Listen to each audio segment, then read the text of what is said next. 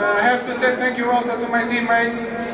They not only these ones, but the, all the other ones that I play with, and they were fantastic.